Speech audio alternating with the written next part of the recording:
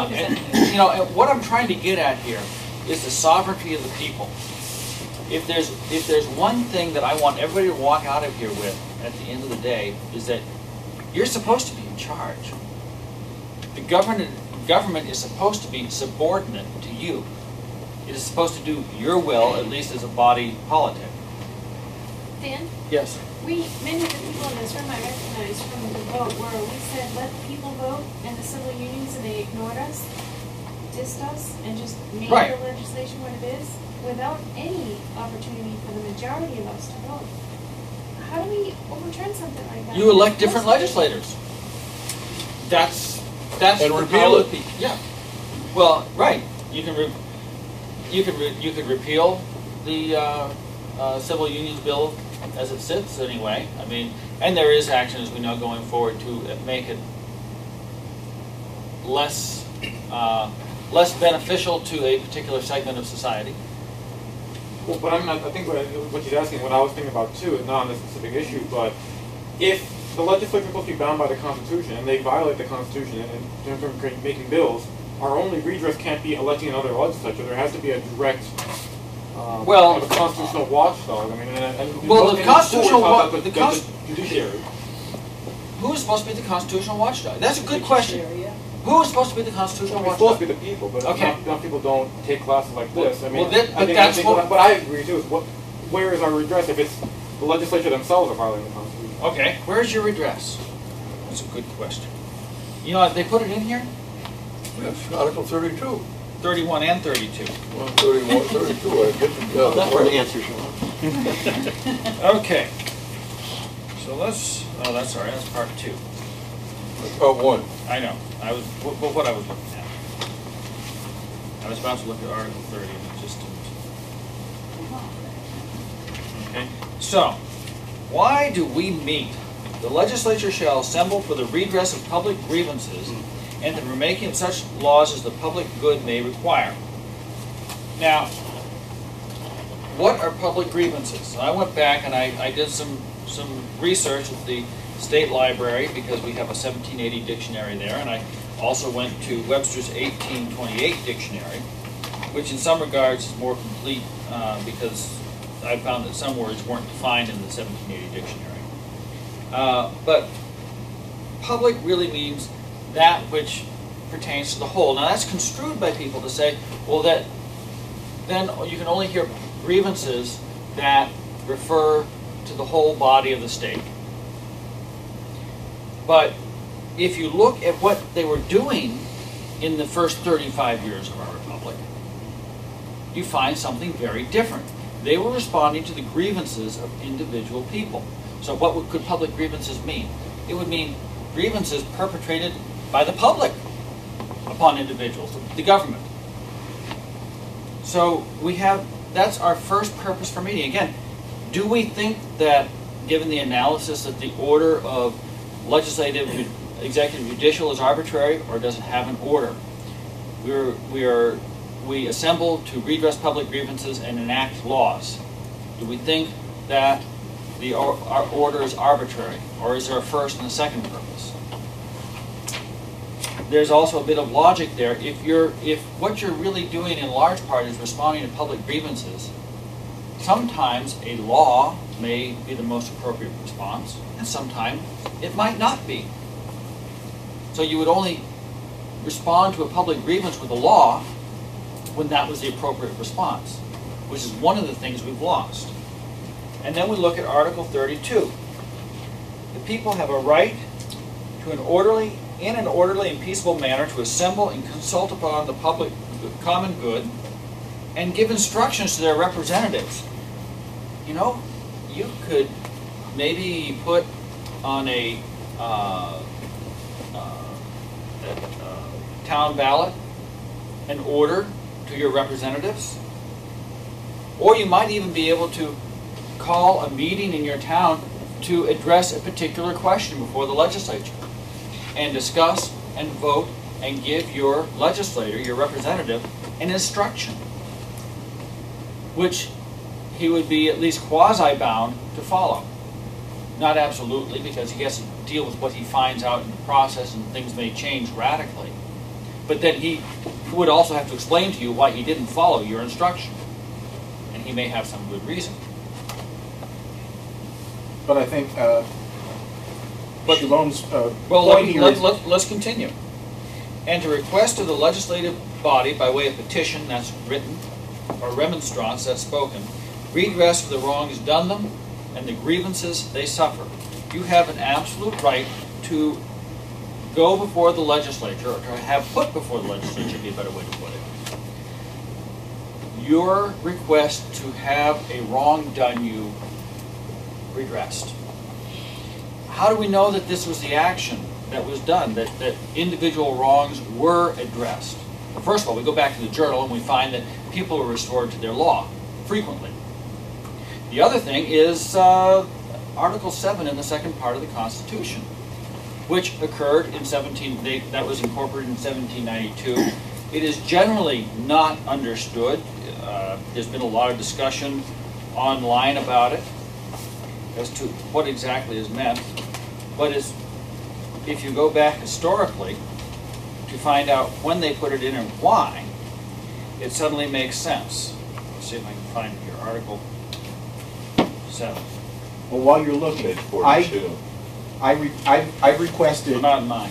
I requested specifically three times, uh, in the last two We'll months get there. of of my senator, a position statement on a specific issue, and he has ignored completely all three, leaving me to presume that my only redress is the next election. That is probably correct. And that's, I think, that was the thrust of your question. What, But- what else do we have ultimately? Well, I'd like go to back to annual it. elections. But let me, let, let's look at Article seven.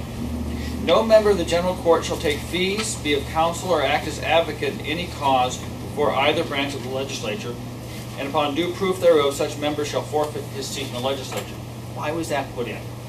Because between seventeen eighty-four and seventeen ninety-two, legislators, in order to supplement their in- income, were taking fees for the introduction of redress of grievances. So we know they did it. Because the people could great expense to them taking uh, money for doing so.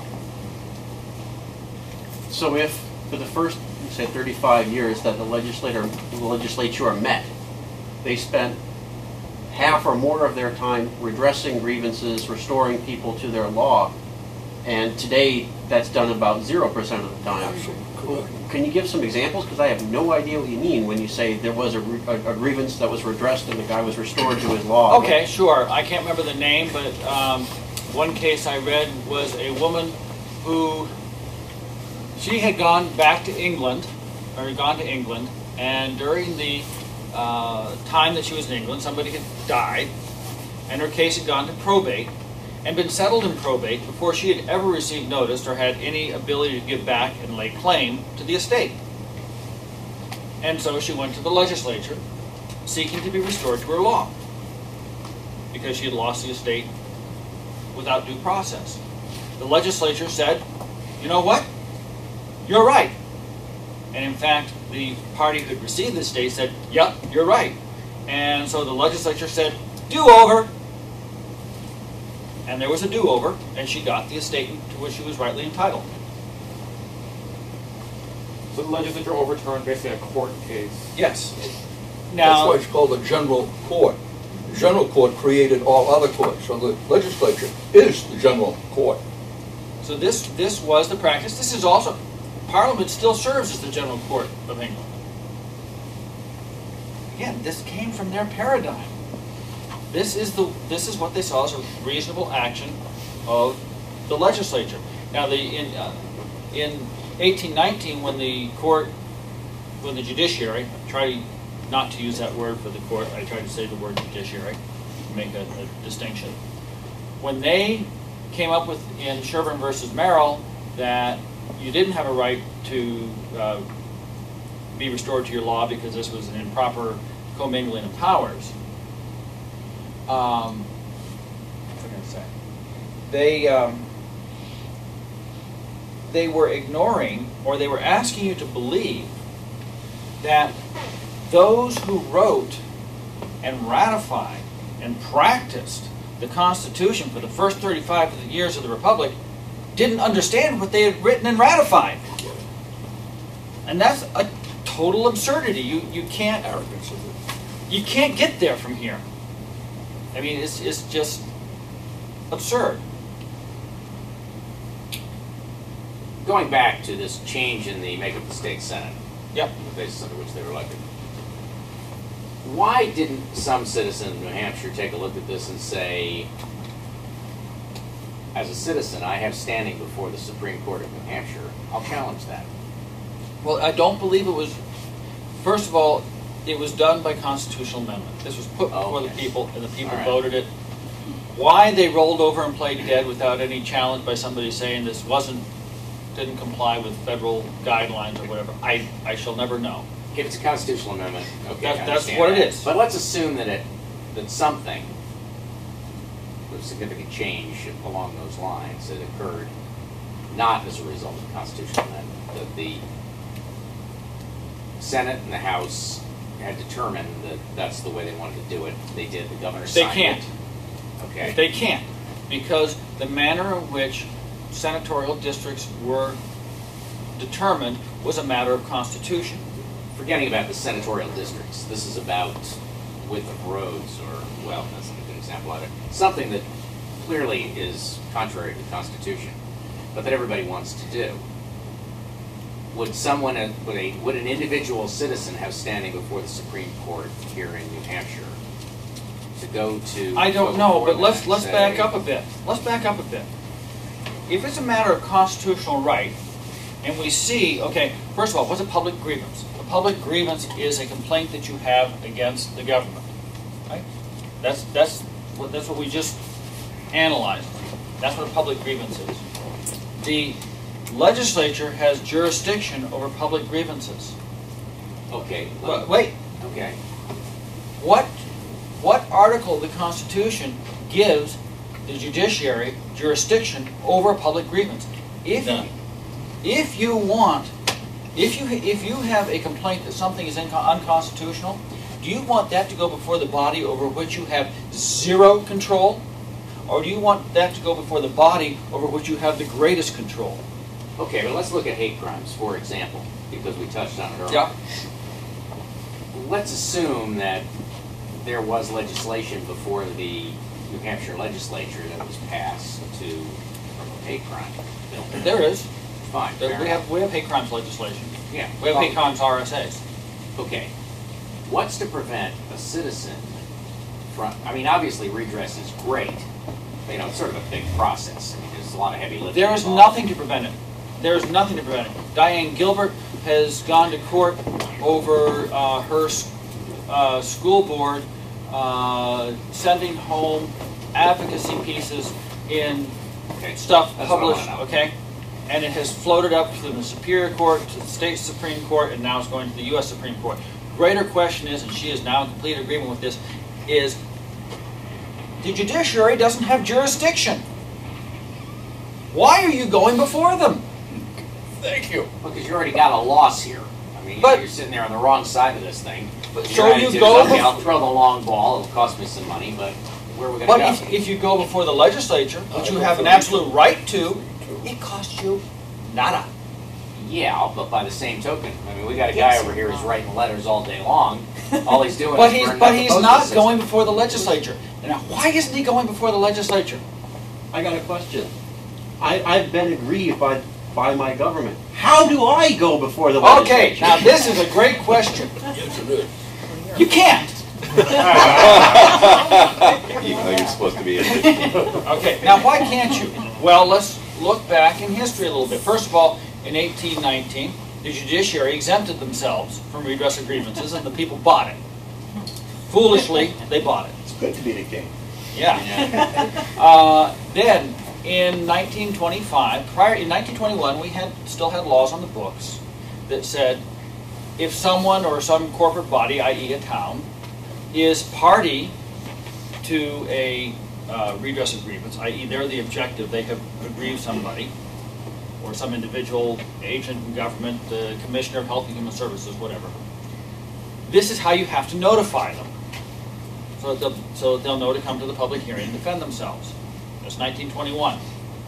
1925, the laws are recodified between 1921 and 1925. They simply didn't include it in the recodification. It was never repealed. Uh, so the fact that you exemption, Notify them or the fact that you could do it? The fact that you had to notify them. so the exemption wasn't a constitutional change. No. Well, Now, that- Then the exemption ought to be unconstitutional. well, Absolutely yeah. Now, in 1963, Deception. prior to 1963, all legislators submitted their own legislation. They wrote it out, typed it out, whatever, and handed it to the speaker and said, I want this bill to come in. In 1963, we created legislative services. Those are the people that draft our bills for us and make sure that All all, lawyers. all the areas of law that are impinged by some idea are touched, are corrected, made consistent. They are empowered to write bills and resolves. And orders, since orders are to be treated like resolves. Missing from that list is petitions. And therefore, they tell me they cannot write petitions. I tried last session and got rebuffed. I have a bill in to tell them that yes, you can write petitions and to recreate the statutes that say how you are to notify somebody that they're a party to a redress of grievance. But the reason you can't do it is because you can't do it. There is no mechanism by which to seek a redress of grievance by the body that is properly empowered to hear such redress. So it's, life's not fair and that's the way it is, huh? At the moment, yes. Because your your your legislators have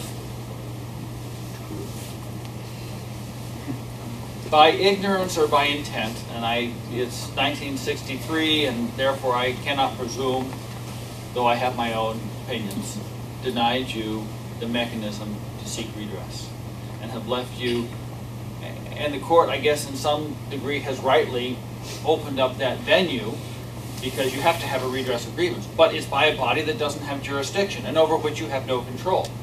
And if you are dissatisfied with the result, tough. So what are the practical implications? Should, should this bill be signed off by the governor and entered back into statute? What are the practical implications for the random Joe citizen? He could then approach his, his representative or senator and say, I've been wronged thusly by the state in some way, shape, or form, whether it is the state itself or one of the, political subdivisions thereof, school district, town, uh, county, county attorney, uh, I mean, the, the police officer, teacher, uh, and have that wrong go before the legislature. And it's important because I mean, one in the class, high school class I'm teaching, uh, a woman was referring to how in the early '90s that uh, she had seen people denied due process in court. The judge didn't follow the law. Now, one of the things that you hear is, well, we have citizen bills, you know, constituent bills, but sometimes a bill, a change to the law, or the creation of a new law, is not an appropriate response. Because if the problem is, is that a judge or a police officer isn't following the law, which is good, there's no change in the law to correct that. Well, what about a, a law to hold such, to, make it a crime to do that? You know what, that law is already on the books. RSA six forty-three colon one. I'll simplify it, but basically, those acting under the color of law, color of law, or failing to do that which is reasonably expected of their office, are guilty of a misdemeanor. It's only misdemeanor? Well, it would, how would you like to be the judge recommending the appointment of somebody who is guilty of a misdemeanor of denying due process? How would I like to be a judge of what? How would you like to be a, a, a governor nominating for appointment a judge who was guilty of a misdemeanor for denying due process? Think that would fly very far? Well, I was, yeah, I mean, obviously it wouldn't be appointing him anyway, but that's not the point. But, but, but, but my point is, is once you have somebody convicted, police officer, how many police officers do you think will be appointed who had been once or repeatedly convicted of official oppression? That's the name of the crime. Maybe not many, but with a, if it were a felony, you wouldn't have any. Be careful with felonies. Well, Felonies, I'd fel- like to be careful with felonies, but they're all Felonies have all ex- over the place, apparently. felonies have extensive implications. That's correct. I agree with that. And And I think I there should would, be fewer of them than there are, but. and I would be loath to deny anybody the right to protect themselves if or the power. If you're a public, I'm not saying a public official couldn't defend himself. He could if he were accused of something. that- No, no, no, no, no, no. If he's convicted of a felony, neither he nor anybody in his family can own a firearm. I understand that. And that is why I would be loath to do it. Yeah, okay, but if he's the guy in charge, and if he's the But he's sheriff. no longer in charge. He's been convicted of a misdemeanor. In fact, I'd have to check, but I bet it's unlawful for somebody who's been convicted of a misdemeanor to hold such office. I know you can't run, matter of fact, I know it is because if you mess with anybody's signs, that's a misdemeanor and you can't hold elected office in the state of New Hampshire. So, um, sheriff is elected office.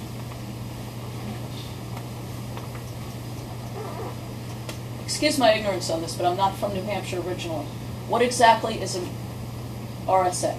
RSAs are by statute annotated. It's, it's, it's the Law. current embodiment of our law. Every so often, we go through and we clean up the law, laws and we give them a new name. So an RSA is a reinterpretation of a law that was already in the It's- it- Constitution? No, it, an RSA is one of our current body of law. Either relatively recent, I don't know when RSAs were done, I think in the seventies. But it is a, it is either a new law or a law that was, they went through it. When, when they approve, our, each recodification has to be approved by the legislature as well. But what they do is they go through and they, they try to make sure that all of the different parts of the law agree with one another. That you don't end up with inconsistencies in the law, but you can because we go through and we modify this paragraph here and that paragraph there. Now that we have legislative services who are, you know, up to here in the law and they try to catch those inconsistencies, but they're still not perfect. I mean, nobody is. Um, Basically, the, the laws, I mean, every bill that they pass, if it's something new, if it makes a new RSA with a new number inserted where it belongs in the current RSAs. An administrative organization of the bills passed. Right. effectively. The statutes. I mean, and, and there's some there's some uh, great errors in the in our statutes right now, right? Oh, go ahead. No, I was in hopes you'd address the difference between these Not two now. seals Not now. and what they represent. But more more important is that where was I going? Um, Statutes. statutes. Uh, yes, we have public we, policy. we have some, we have some gross inappropriate things in our in our statutes. Yeah, I get it. Uh, not, in- not, not in what's there, but how it's shown. Beginning about 75 years ago, we ceased to present proper nouns as proper nouns, i.e. with capitals. You capitalize the first letter of your name, right, because it's a proper noun. You capitalize the G in governor because it's a proper noun. We don't. This led to all kinds of mischief. Uh, it allowed the whether intentional or happenstance, uh, in fact, we no longer swear an oath to uphold the Constitution of the state. The name of the state is presented in the Constitution. The first letter of each of the name of the state, the state of New Hampshire, is capitalized. Beginning in about 75 years ago, uh, they started presenting the name in that article, the name of the state, in all caps. And in other, state.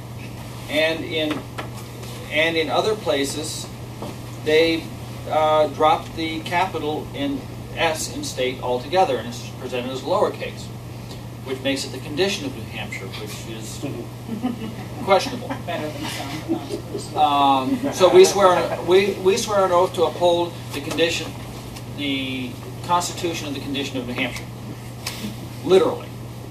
Uh, now, we all believe we swear an oath to uphold the Constitution of the state, and I believe for the most part, we all have that intent. But, so morally it's there, but strictly legally it's not there.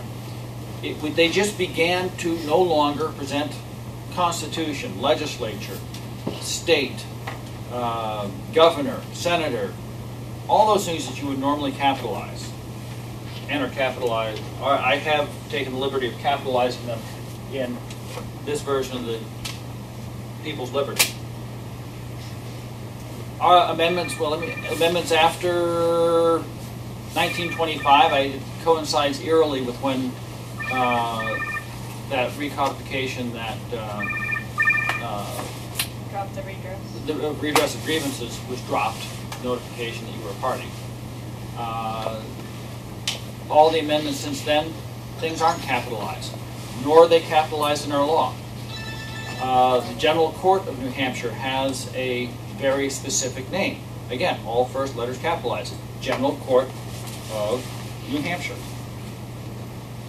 In all our statutes, state, general court are not capitalized. What do they refer to? I do, you know, I mean, that's something that's got to be corrected. Um, I, I'm sure that Bill Gardner, when, you know, when we go through, and I present to him the fact that uh, all the proper nouns are supposed, supposed to be capitalized, they will be capitalized, all the ones that can be. We can't go through and, and capitalize ones that the people didn't capitalize, but we can certainly go through and capitalize the ones they did. Um, Can the Secretary of State do that by fiat? Just do it? Well, no, he can't, because, but what he can do is look at the Constitution of 1792 and say, these words are supposed to be capitalized. They've been improperly lowercase. That he can do by fiat. And if he chooses no, oh, that he can do. That he can do. That's lawful. That's lawfully what should be done. Which will make the places that things aren't capitalized look very bizarre. Yeah, but then it'd be right for somebody like you to offer legislation that would change that. That is- Well, it can't do it by legislation. It must be done by constitutional amendment, because you're dealing with the Constitution, and two-thirds of the people must approve it, which will be a very hard, Even for that, that would seem to be pretty uncontroversial. They it'll be hard to, be- it. it'll hard to make, it'll be hard to make people believe that it's necessary in this day. But how and did it change from capitalized to uncapitalized without constitutional amendment?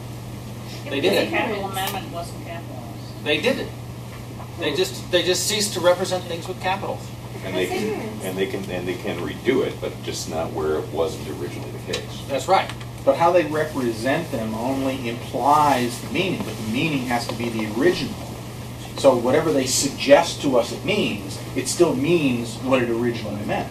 Fifty years No. from now, If people- if- if people know that. Yeah. Yeah. Okay?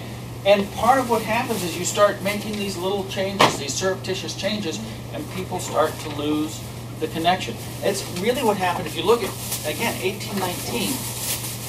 What is significant about 1819? Well, who, okay, who, how many here know who John Langdon was? Okay, John Langdon was one of the three men who organized the raid on Fort William and Mary, in which we captured the shot and powder for um, the battle on Bunker Hill. He then, under the new legislature, was uh, elected uh, a representative and Speaker of the House. He held the position of Speaker throughout most, if not all, of the uh, War for Independence. He was organizer of the constitutional conventions and uh, President pro tem of the first convention. Uh, He then, under the new Constitution of 1784, in 1785 and 6, he became uh, President of the state. Obviously, he was elected state senator. And then he had to, um, then he resigned that to go down to Congress to be a member of the convention for the uh, Constitution for the United States of America. Under that new Constitution, he came back. He, he was one of the leading Federalists arguing for the ratification. He became elected state sen- uh, U.S. Senator, one of the first two U.S. Senators from New Hampshire, and President pro tem of the Senate, and swore in General Washington. After serving, I think, two terms in uh, Washington, he came back and was again elected as state senator, and then after that, governor of the state. And he was governor of the state during the War of 1812. 1813, he retired from politics because his wife died. 1819, he died. Now, is it particularly important that he died in the 1819? No. But what you do see is that he was 35 when the Revolutionary War began. He dies in 1819. What we're seeing is we, is the departure of those who understood the government from public service. And then in 1816 and 1818, we see the rapid reversals of the legislature wiping out legislative institutional memory, and they in turn wiped out the judiciary, wiping out judicial institutional memory. So by 1819, we have a completely different government. Would this be important?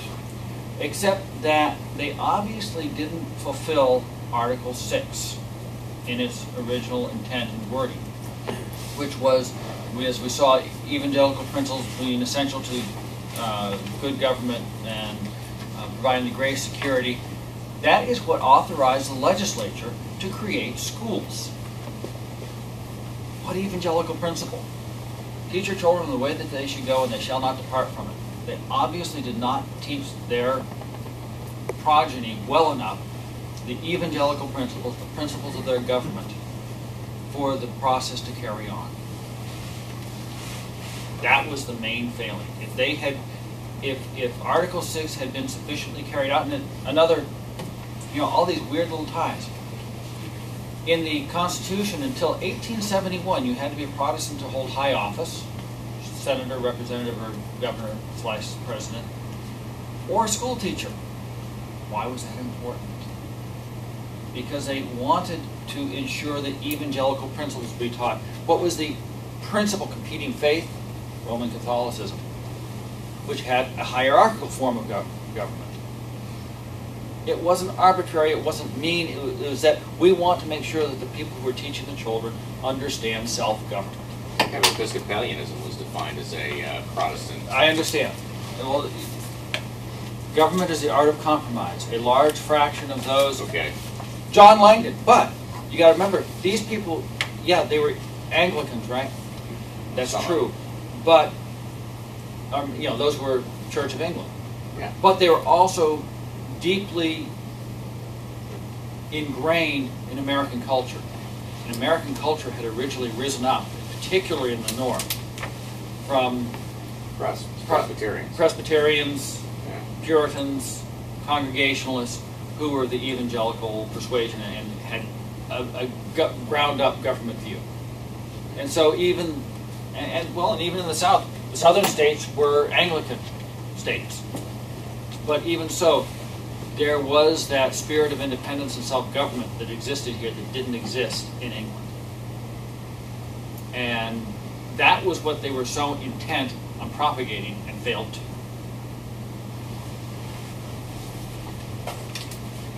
So intent that they put it in the Constitution, at least in a veiled form. But, you know, when, when we took those terms out by 1960, we had no idea what they meant. I'll tell you how, how I originally arrived at that. It was my argument against, uh, well, it was my argument in favor of the marriage amendment, which I based upon up until 1968, we had, our government had evangelical standards as the standard for public morality and piety. And while that is a, a view on government, it also carried with it certain societal values, which would not include same-sex marriage. When the people made that, approved that amendment in 1968, they had no idea what they were admitting as a po- possibility, rightly or wrongly. And that therefore we as government owed them the opportunity to say yay or nay whether this is what they really meant to admit same-sex marriage. And the only way to do it now that you're now now that you're on this side of the coin, the only way to do it is say, do you want to prohibit it? Or get government out entirely. Or get well, Which, which actually was my, in my ignorance, I didn't know that marriage was provided for in the original Constitution. Well, it was, it, it was, it was, Generally, it had been a Gen- the purview of the church up to a certain point, and it wasn't. uh, it, actually, I well. don't know in terms of New Hampshire. In New Hampshire, it was a matter of law going way back, and I forget, certainly back into the 1800s. But you don't see state, well, it's not, it's not really outlined in the Constitution. It's, it, it, it rests there under guise of evangelical principles, which carries with it a certain worldview, but is more intently a governmental philosophy. My only argument was where prior to 1968, same-sex marriage clearly would have been prohibited. That when it was, when that clause or, or word was removed or, or emasculated, became high principles, which means nothing. Nobody has any reference to it. The people did not know, did, could not have adequately comprehended what they were admitting at the time. When, when they took out evangelical, nobody said, oh, good, this means we'll be able to have same-sex marriage. I'm sorry, that was not on anybody's radar screen except maybe a handful, if that. I had a professor that it was on his radar screen Right, back then. We all laughed at him and thought, who the heck is ever going to want that? right. But the people who were, the people who were approving that amendment would never have had that on their radar, radar screen. Therefore, we owed them, as government, the opportunity to say a specific yay or nay. So from a, from a purely pragmatic point of view, given the state that things have worked themselves into with, you know, what we have currently in RSAs, do you, you know, given Article five, I mean, if, if I look at this and I say, you know, if, if, if I'm, I don't know, Hopi Indian or, or something like that, or I, I- I adopt the religion of some Aboriginal tribe in, in Australia and I, you know, I need to go climb Mount Uluru to become designated something or other. Um, and there's obviously nothing prohibiting that here. Would it make sense from a purely pragmatic point of view to go about things as, as Tim was alluding to, to sort of disextract the specific religious institution of marriage from anything to do with function And I had a bill in to do that. Yes, I, I, I, i- if we look back historically, there was a relatively intimate relationship between church and state in New Hampshire originally. Over the past two hundred years, we have seen a secular, secularization of the state. Marriage has always been a particularly religious event. I mean, it's, it's the first religious ceremony in the book of Genesis. It, it pre-exists Judaism in, into uh, Samaria. Okay? It is a religious, it is a religious uh, practice. Sacrament, yeah. Sacrament, thank you. Uh, Therefore, I do not believe it is right or proper to be asking permission of the state to execute a religious practice. Now, if you want to, uh, you know, does the state have certain interests? Sure, it's good for them to know who is and isn't married. If the state has a law prohibiting bigamy, then they know to, need to have some way of knowing who the bigamists are, which would be simply a report of the, marriage. A marriage has happened. These are the parties. So that if one of them wants to take suit in court, though they could always take suit in church, but if they want to take suit in court, then there is some evidence that such an event has occurred other than the word or dispute by the two parties. So could I almost think of this as being like a shall issue? Yeah. Well, no, no, no, no. A mere record. Okay. a mere record. It is simply a statement of fact. And if you look at our statutes, it's the marriage license that gives you standing in court.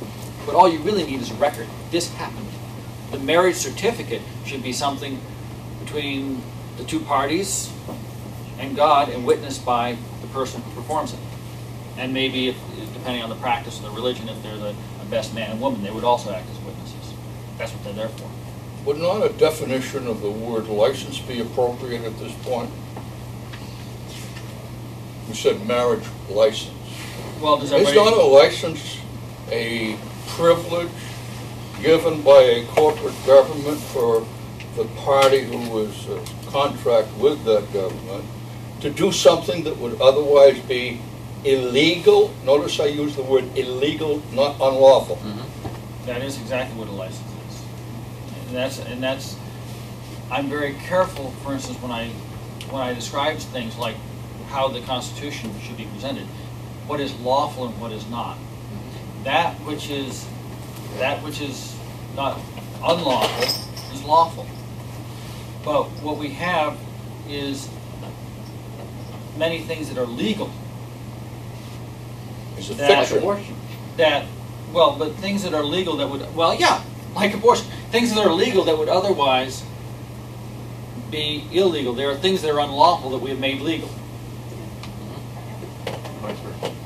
Hmm? And vice versa. and vice versa. Things that should be lawful that we have made, made illegal. Uh, although I would dispute again, and, and as to whether abortion is really legal or not.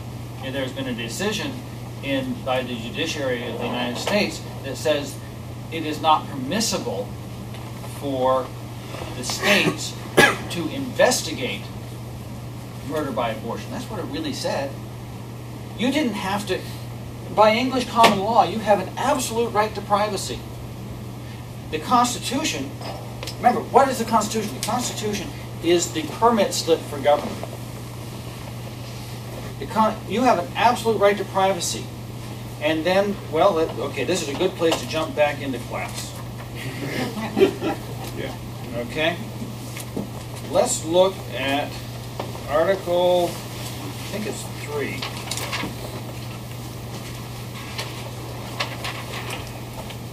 No, yeah. Article 3, when men enter into a state of society, they surrender up some of their natural rights to that society in order to ensure the, protect, ensure the protection of others. And without such equivalent, the surrender is void. What are we surrendering? Well, if you have an absolute right to privacy, but you want to be protected in your person and property, that means crimes have to be investigated. So you surrender a portion of that absolute right to privacy such that when there is uh, probable cause that a crime has been committed, the government has the power to investigate, the right to investigate the crime. And then only with very, in, within very narrow terms. So you've surrendered up a portion of your inherent natural rights of privacy. So if a state, and it was since 1854, where there was law in the books until 1998, that abortion was murder, and that the physician who performed uh, terminated the pregnancy of a quick child would be guilty of a fine of ten thousand dollars. Was No. not that public policy? I wasn't, public Well, well, policy let me just- two different things. That that was that Public was policy is that was a established by a democracy. that was a matter of law. Okay, it was a crime to commit an abortion. What Roe versus Wade said was you couldn't investigate it because of this newfound right of privacy, which was always there. They said you can't investigate, even by probable cause. Woman went in pregnant, she came out not pregnant. Something happened. Okay. Uh, they said you couldn't investigate the crime. That was what they really said in Roe versus Wade. That there was a sudden, sudden new privacy that you couldn't, that you couldn't look in to see what had happened. I wanted to ask about this right to privacy. I, I think of so many arguments I've had with my brother, since he's a lawyer, about this notion of a right to privacy. If he goes out reflecting and I say that maybe there is a right to privacy, you know, there's not. Where, where does that come from? Where does no right to privacy come from? The right to privacy. in English common law. Eng- yeah, English common law. That, that, and all, Article ninety says that, that this Constitution can't void anything that was law before, unless it's repugnant to the Constitution. Well, part of English common law was this extensive right to privacy. It was so obvious they didn't have to say it. Right. But what they did say was that you couldn't investigate it, which is absurd because it says, you know, it's a state, the state has this crime on the books of murder in the case of abortion. Well, if there's probable cause, obviously, you've surrendered in your constitution that narrow piece of your privacy, that if there is evidence that a crime has been committed, obvious evidence, you have to go before a grand jury for capital uh, crimes, which murder would be, to prove that there is, in fact, a probable cause, that the government can then go investigate to see if a crime has been committed and bring charges if appropriate. What's That's what the grand jury did. I was just gonna ask. No. Uh, well, Grand they jury's bring- got grand to jury decide, brings charges, absolutely. But, but, but gather evidence to prosecute and decide whether or not there really is sufficient to prosecute. Article 19 in the New Hampshire legislature, or uh, constitution, discusses searches and seizures. Right. And you can see that it's a very narrow, Yeah. very narrow band. You, when, according to the New Hampshire Constitution, you have to say where you're going, why you're going there, who you're going after, and what specifically you're going to look for. So if you go in and, you know, I've, they've said, I'm going to, uh, I believe there's something nefarious about people's liberty, so I'm going to uh, look, pick up his copy of the People's Liberty. And they find over on this other table the Communist Manifesto. Can they pick up the Communist Manifesto? No. They can only pick up what they said What the they went there for.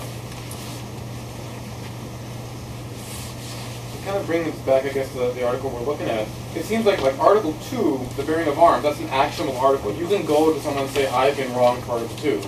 But Article 3 is more kind of like a guideline. There's nothing, you ca I can't go to the legislature and go and say, I've been wronged by Article 3, that some of my rights were not given up or something. So, is that how Well- the Bill of Rights kind of breaks down? Is there some, I mean, do you, can I, I- for an overview, is there some actionable articles and some just kind of guideline articles? I mean, because I can't really do anything with Article Three. And it's more of Um, like what should. Sure, you could. Absolutely, if you have the right of redress. I mean, it's just But it says that, that, that you have uh, all your natural rights. What if, what if the state had not provided protection of, okay, um, Talking about specificity. I know, but let me, let me, I I was thinking about this earlier today, in something else I was writing, actually it's what I was writing today. What if, okay, you have the absolute right to acquire, possess, and protect property.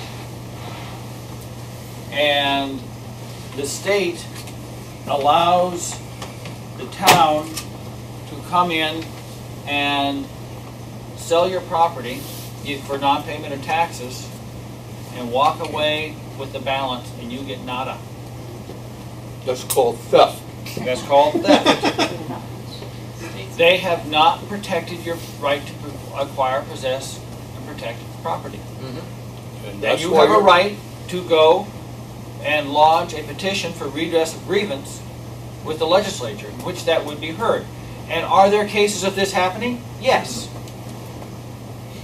Uh, It's a, it's a convoluted case, but I know of a family that has been aggressed upon by DCYF, and in part of it, yeah, uh, Department of Children, Youth, and Families. Um, corporate creation. they they went after this family. Now, the woman had lost control of her children. She met a new man. He came in through some stretch, I don't know what. They took his son away, and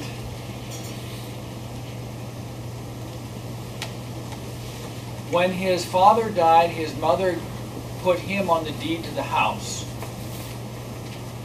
somehow he was kicked out of the house. Now this is where I'm getting fuzzy, but the long and short of it was, at the end of the day, his mother had to be put into a nursing home, and they forced the sale of his house, which wouldn't have been possible if he hadn't been put on the deed, to pay for the nursing home. And this was all done by our judiciary. Thank you. It's all done by corporate government, not your constitutional government. Dan, could I have a minute to? No. You have, no, no, I mean, I want, you got a gift for him, I got a No. gift for him. I'm serious. This is a Okay. gift, because these are all of the amendments to your Constitution. I hope I got enough for you. Maybe while, while those are being passed out, let me Pardon? throw another scenario out. You have this, uh, Article three concerning property. Suppose you So, have a natural. There have been amendments made. I- I've got some property, I've got a big, you know, big lot out somewhere, and I decide to put this property to profitable use, so I start. Yeah, let's have a break. Okay. You guys can feel free to move about, stretch your legs. I start growing some hemp